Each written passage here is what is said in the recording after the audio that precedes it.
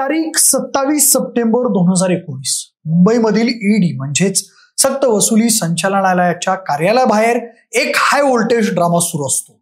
इतर वेळी ईडी म्हटलं की घाबरणारे नेते आणि त्यांचे कार्यकर्ते त्या दिवशी मात्र प्रचंड आक्रमक दिसत होते. आरोळ्या घोषणाबाजीने आसमंत दणानून गेला होता. ते कार्यकर्ते थेट दिल्लीला आव्हान देत होते. अखंड देशातून दोन वेळा प्रचंड बहुमताने सत्तेमध्ये आलेल्या दिल्लीश्वरांचा बाप काढत होते. कोण आला रे? कोण आला? मोदी शहांचा बाप आला अशा पद्धतीच्या या घोषणा होत्या. ही घटना दोन हजार एकोणीसच्या महाराष्ट्र विधानसभा निवडणुकांना कलाटणी देणारी ठरली. पुढे याच सहानुभूतीच्या लाटेवर स्वार होत साताऱ्यात झालेली एक पावसातली ऐतिहासिक सभा या निवडणुकीचा क्लायमॅक्स ठरली. आपण कुठल्या नेत्याबद्दल बोलतो हे तुम्हाला अधिक सांगण्याची आवश्यकता नाही. होय शरद पवार. महाराष्ट्राचे आणि देशाचे समाजकारण राजकारण तसेच सांस्कृतिक आर्थिक शैक्षणिक कृषी कला क्रीडा नाट्य साहित्य अशा असंख्य क्षेत्रांचा गाढा अभ्यास आणि नसाची माहिती असलेले नेते म्हणून शरद पवारांची ओळख आहे. याच निमित्ताने आज आपण शरद पवारांच्या एवढ्या दीर्घ कारकिर्दीची बलस्थानं नेमकी काय आहेत हे पाहणार आहोत. नमस्कार मी प्रथमेश आणि तुम्ही पाहत आहात विषयच भारी. तुम्ही पवारांचे समर्थक असवा अथवा विरोधक? तुम्हाला मात्र पवारांची दखल घ्यावीच लागते. शरद पवारांना त्यांच्या कारकिर्दीत राजकीय विरोधकांची कमतरता कधीच भासली नाही. त्यांच्यावरती अनेकदा सहकारातील भ्रष्टाचाराला खतपाणी घालणारा नेता जातीयवाद पेरणारा नेता शेतकऱ्यांना अडचणीत आणणारा नेता साखर सम्राटांना पाठीशी घालणारा नेता सरंजामी मानसिकतेच्या नेत्यांचे कडेमुळे निर्माण करून पक्ष स्थापन करणारा नेता असे अनेक आरोप झालेले आहेत. दोन हजार एकोणीसच्या निवडणुकीदरम्यान शरद पवारांच्या राजकारणाचं युग संपलं अशी टीका देवेंद्र फडणवीस यांनी एका हिंदी चॅनलवर केली. आणि शरद पवारांनी आपण आजही कसे ताकदवान आहोत हे निकालानंतर महाविकास आघाडीची स्थापना करून दाखवून दिलं. टीका करणारे तत्कालीन मुख्यमंत्री देवेंद्र फडणवीस यांचे मुख्यमंत्रीपद गेलं. दरम्यान ऐंशी तासाच्या सरकारचा प्रयत्नही पसला आणि महाविकास आघाडीच्या सरकार स्थापनेनंतर उद्धव ठाकरे मुख्यमंत्रीपदी विराजमान झाले. आणि अर्थातच सत्तेचा रिमोट कंट्रोल शरद पवारांच्या हाती आला. कट टू दोन हजार चोवीसची लोकसभा निवडणूक. भाजपचे नेते कॅबिनेट मंत्री चंद्रकांत पाटील यांनी शरद पवारवर टीका करताना म्हटलं की पवारांना राजकारणातून संपवणं हे आमचं ध्येय आहे. मात्र चंद्रकांत पाटलांच्या या विधानाचेही बुमरँग भाजपा आणि महायुतीवर उलटले. पवारांना संपवण्याची भाषा करणारे निकालानंतर खूप मागे पडले. आणि शरद पवार पुन्हा एकदा नव्या पक्षासह तुतारी वाजवणारा माणूस या नव्या चिन्हासह महाराष्ट्राच्या राजकीय पटलावर एक मुत्सद्दी आणि तेवढाच प्रगल्भ राजकारणी म्हणून पुन्हा आपलं स्थान बळकट केलं. खरं तर दोन हजार एकोणीसच्या विधानसभा निवडणुकीपूर्वी महाराष्ट्रातील राष्ट्रवादी आणि काँग्रेसमधून मोठ्या प्रमाणात भाजपामध्ये पक्षांतर झालं होतं. त्यामुळे दोन हजार एकोणीसच्या निवडणुकीमध्ये शरद पवार संपणार राष्ट्रवादी संपणार अशा पद्धतीच्या वदंता पसरवण्यात आल्या होत्या. मात्र ईडीची कारवाई शरद पवारांचा महाराष्ट्रातील झंझावती प्रचार ते अगदी शेवटची पावसातली साताऱ्याची सभा. यामुळे दोन हजार एकोणीसच्या विधानसभा निवडणुकीचं चित्र संपूर्णपणे बदललं आणि शरद पवार महाविकास आघाडीचे किंगमेकर ठरले. आता दोन हजार चोवीसच्या विधानसभा निवडणुकीतही शरद पवारांच्या बाजूने एक नेरेटिव्ह सेट होताना आपल्याला दिसत आहे. पवारांचा फोडलेला पक्ष त्यामुळे त्यांना मिळत असलेली सहानुभूती त्यांचं निवडणुकीचं परफेक्ट मॅनेजमेंट योग्य ठिकाणी योग्य माणसं पेरणं आणि त्या माणसांकडून एक एक मतदारसंघ काबीज करत जाणं अशा पद्धतीची रणनीती शरद पवार आखताना दिसतात. निवडणुका निवडणुकांमधील राजकारण आणि बदलत्या तंत्रज्ञानाच्या काळातही एक सक्षम असं जनमत तयार करण्याचं कसब पवारांकडे आहे. शरद पवार वयाच्या चौऱ्याऐंशीव्या वर्षी सुद्धा तेवढे काल सुसंगत किंवा रिलिव्हंट कसे ठरतात? त्यांच्यावर कठोर टीका करणाऱ्यांनाही ते आपली दखल घ्यायला भाग कसे पाडतात? हे म्हातारं एवढं खमक कसं काय? हे आता आपण काही मुद्द्यांच्या आधारे समजून घेऊया. पहिला मुद्दा म्हणजे शरद पवारांची दीर्घ राजकीय कारकीर्द. म्हणजे शरद पवार भाषणामध्ये असं सांगतात की ते तब्बल चौदा वेळा निवडून आले आहेत. पंचावन्न साठ वर्षांच्या विधिमंडळ आणि संसदेमधील दीर्घ कारकिर्दीनंतर शरद पवारांकडे प्रचंड राजकीय समज आणि राजकारणाचा दांडगा अभ्यास असल्याचं आपल्याला दिसून येतं. शेतकऱ्याला ज्याप्रमाणे पाऊस कधी येणार पेरणी कधी करायची असा अंदाज असतो त्याप्रमाणे शरद पवारांना एखाद्या राजकीय उलतापालतीमध्ये कधी हस्तक्षेप करायचा नरेटिव्ह आपल्या बाजूने कसं वळवून घ्यायचं आणि त्याचा अचूक फायदा उठवत आपण चर्चेच्या केंद्रस्थानी कसं राहायचं याचं परफेक्ट नॉलेज शरद पवारांना आहे. आणि ते या मुद्द्यावर त्यांच्याशी वयानं आणि अनुभवानं ज्युनियर असलेल्या अनेक नेते मंडळींना मागं टाकताना दिसतात. दुसरा मुद्दा म्हणजे पवारांचे विविध राजकीय पक्ष आणि गटांसोबत असलेले संबंध.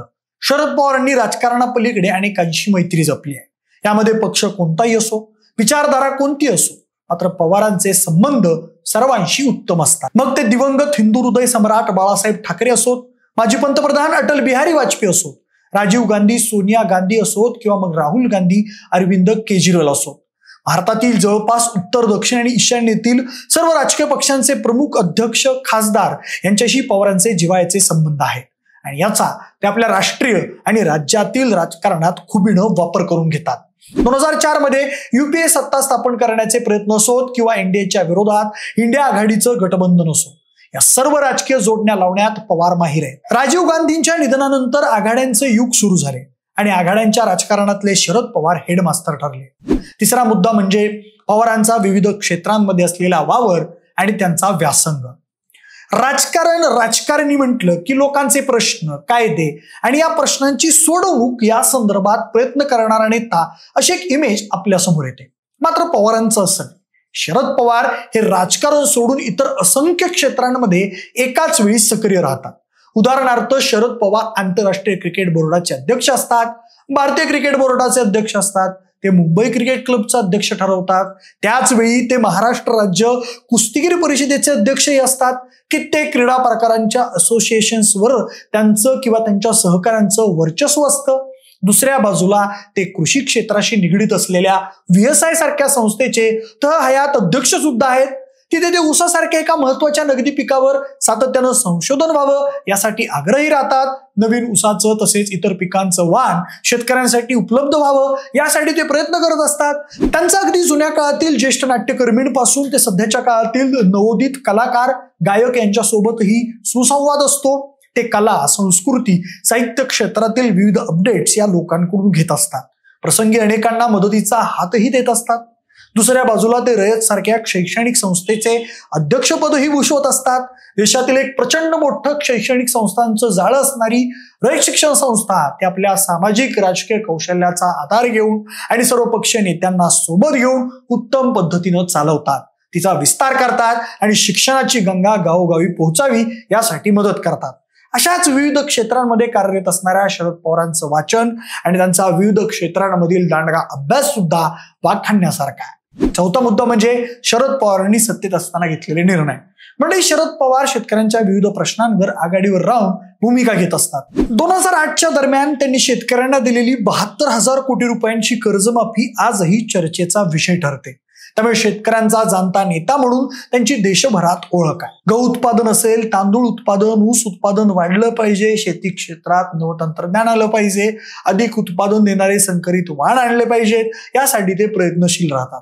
महाराष्ट्रातील फळबाग लागवड योजनेसारख्या अनेक शेतकरी हिताच्या निर्णयांवर पवारांची छाप दिसते. महिलांसाठी राजकीय रक्षणाचा निर्णय असेल विविध वंचित समाज घटकांसाठी त्यांनी घेतलेले निर्णय असो मराठवाडा विद्यापीठाच्या नामकरणाचा विषय असो किंवा अगदी किल्लारी सारखा भूकंप घडल्यानंतर त्यांनी तिथल्या लोकांना दिलेली उभारी असो. पवारांची ही कार्यप्रवणता लोकांना भावते. म्हणूनच गुजरातमधील भूकंपानंतर तिथल्या आपत्ती निवारणाची जबाबदारी तत्कालीन पंतप्रधान अटल बिहारी वाजपेयी यांनी शरद पवारांवर सोपवली होती. आपल्या सत्तेच्या काळात जनसामान्यांच्या हिताचे निर्णय घेऊन विविध समाज घटक जनमत आपल्या बाजूने वळवण्यात शरद पवार वाकबगार आहेत. पाचवा मुद्दा म्हणजे शरद पवारांच्या पाठीशी उभा असलेला मराठा अंडरकरण महाराष्ट्राच्या राजकारणाचा तोंडवळा बहुजनवादी राजकारणाचा असला तरी मराठा समाज इथं बहुसंख्य आहे. आणि महाराष्ट्राच्या राजकारणाची चावी ही अनेकदा मराठा समाजाच्या हाती असलेली आपल्याला दिसून येते. मग ते गावचं राजकारण असो किंवा महाराष्ट्रात आजपर्यंत झालेल्या मुख्यमंत्र्यांची यादी असो. आपल्याला महाराष्ट्राच्या राजकारणात मराठा समाजाचं वर्चस्व नेहमीच दिसून येतं. या मराठा समाजाचं पाठबळ शरद पवारांच्या पाठीशी उभं राहिल्याचं आपल्याला अनेकदा दिसून आलं आहे. म्हणून दिल्लीच्या राजकारणात शरद पवारांना मराठा स्ट्रॉंगमॅन असं म्हटलं जातं. जेव्हा शरद पवार अडचणीत येतात तेव्हा हा मराठा समाज पवारांच्या पाठीशी उभा राहिलेला दिसतो. जेव्हा पवारांवरती विरोधक कठोर टीका करतात तेव्हा सुद्धा हा मराठा अंडरकरंट शरद पवारांच्या मदतीला येतो. दोन हजार एकोणीसच्या विधानसभा निवडणुकीपूर्वी महाराष्ट्रात निघालेल्या मराठा क्रांती मोर्चाचा लाभ शरद पवारांना झाल्याचं दिसून आलं.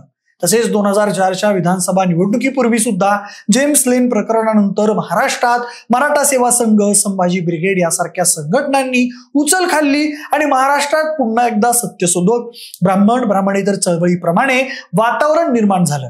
आणि याचा लाभही शरद पवारांना झाला. शरद पवारांचा राष्ट्रवादी काँग्रेस पक्ष एकाहत्तर जागांसह विधानसभेतील सर्वात मोठा पक्ष ठरला. मागच्या दोन हजार चोवीसच्या लोकसभा निवडणुकीतही मनोज जारंगे पाटील यांच्या माध्यमातून मराठा समाजामध्ये निर्माण झालेल्या असंतोषाचा फायदा महाविकास आघाडीला अनेक जागांवर झाला. सहावा मुद्दा म्हणजे बेरजेच्या राजकारणात शरद पवारांचा असलेला हातखंडा. मंडळी दोन हजार चौदाच्या मोदी लाटेनंतर आतापर्यंत शरद पवारांना त्यांचे अनेक जुने सहकारी सोडून गेले. अगदी दोन वर्षांपूर्वी पवारांच्या राष्ट्रवादीमध्ये उभी फूट पडली. त्यांचे पुतणे उपमुख्यमंत्री अजित पवार यांनी राष्ट्रवादी काँग्रेस पक्षाचं नाव आणि चिन्ह अक्षरशः हिसकावून घेतलं. चाळीस आमदार शरद पवारांना सोडून गेले. मात्र तरीही ते कार्यरत राहिले आणि पुन्हा एकदा राजकारणातील बेरजा करू लागले. राजकारणामध्ये नगाला नग देणं ही महत्वाची गोष्ट असते. यामध्ये शरद पवार अत्यंत चतुर राजकारणी म्हणून सिद्ध होतात. त्यांनी कागलमध्ये हसन मुश्रीफ यांच्या विरोधात भाजपमधून समर्जित घाटगे यांना पक्षात घेतलं. इंदापूरमधील अजित पवारांच्या राष्ट्रवादीचे विद्यमान आमदार दत्तात्रय भरणे यांच्या विरोधात शरद पवारांनी भाजपमधून हर्षवर्धन पाटील यांना आयात केलं. आत्ताच्या विधानसभा निवडणुकीत अशा कित्येक मतदारसंघांमध्ये शरद पवारांनी नवीन तसेच काही जुन्या सहकाऱ्यांना सोबत घेऊन आपल्या राजकीय वाटचालीचे गणित किती पक्के आहे हे दाखवून दिलंय. त्यामुळे शरद पवारांचा पक्ष ना कधी रिकामा होतो ना कधी शरद पवारांच्या राजकीय शाळेतील विद्यार्थ्यांची संख्या कमी होते. शरद पवार हे इथेच भाजपा माहितीच्या तसेच इंडिया आघाडीच्या मुंबई ते दिल्लीतील अनेक नेते मंडळींना वरचढ ठरतात.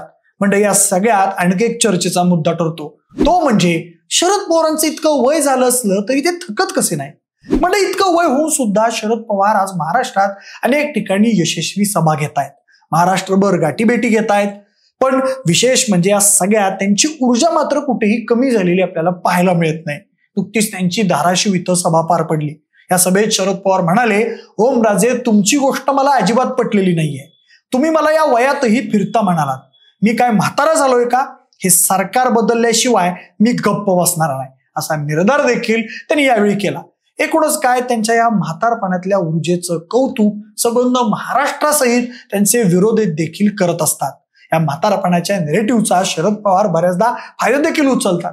पण मंडळी हे काही असो सत्ता असो किंवा नसो आपल्या राजकीय चातुर्याच्या बळावर शरद पवार राजकारणाचा फ्लो आपल्या बाजूनं वळवण्यात चर्चेच्या केंद्रस्थानी राहण्यात वेळोवेळी यशस्वी ठरलेले आपल्याला दिसून येतात.